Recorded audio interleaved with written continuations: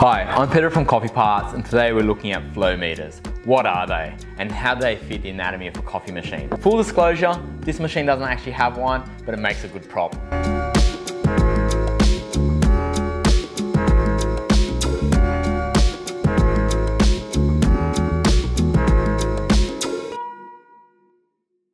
Flow meters, what are they? They're these little things.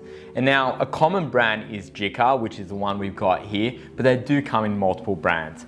Effectively, what these things are, is they count how much water is coming through your group head. So coffee machines tend to be either completely manual, where you turn them on and off, semi-automatic, where they're based on, I guess, time that you've predetermined, you know, like 30 seconds, or they're volumetric, which is based on volume of water. And that's when these flow meters come into play. What they are is water goes in and out. There's a little arrow for in, little arrow for out.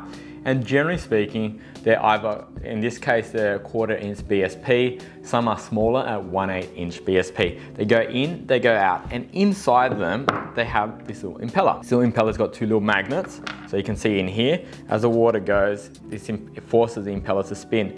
And because they know how much water fits in each of these areas, and they know how many times that impeller spun, so those magnets register in here, and it, this has basically counts the revolutions.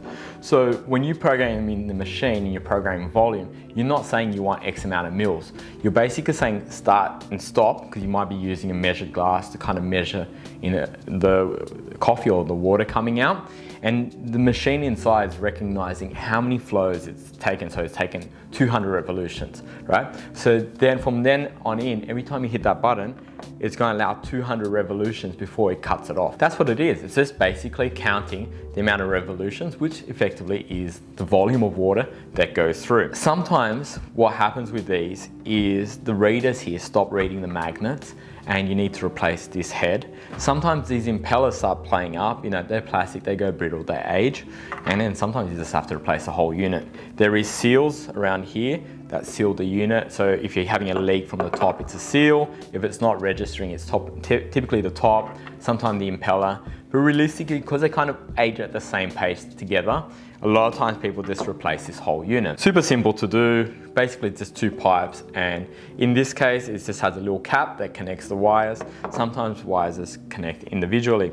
Um, to service them inside, just three screws, you can open them up, change the seal, change the impeller and away you go. One thing to note is different brands have slightly different forms of impellers. So if you were to look closely, this one has bigger magnets, this one has smaller, and also the kind of gaps are slightly different. So it's important to write to buy the right ones if you are servicing your machine. This machine here obviously doesn't have one because we're activating it and deactivating it manually. But if it did have one, you'd be basically generally have a touchpad where you've programmed it in and most of the times they sit just behind the group head. Hopefully that helps you now know what a flow meter is and when you need to change or service yours. Hopefully if you enjoyed this video and if you have any questions on these flow meters or anything flow meter related, hit us up on the comments below and I'll get back to you. Also, hit that thumbs up, hit that subscribe button. Thank you.